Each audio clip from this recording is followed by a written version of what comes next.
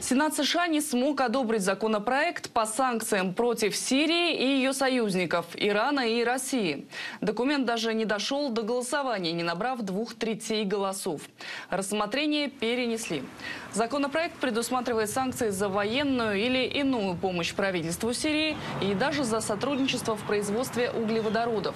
Прописаны знакомые обвинения в адрес России, которая якобы мешала доставке гумпомощи, что наша Минобороны не раз опровергала. Впрочем, дело не в содержании бумаги, а в американском шатдауне, который тянется с конца декабря.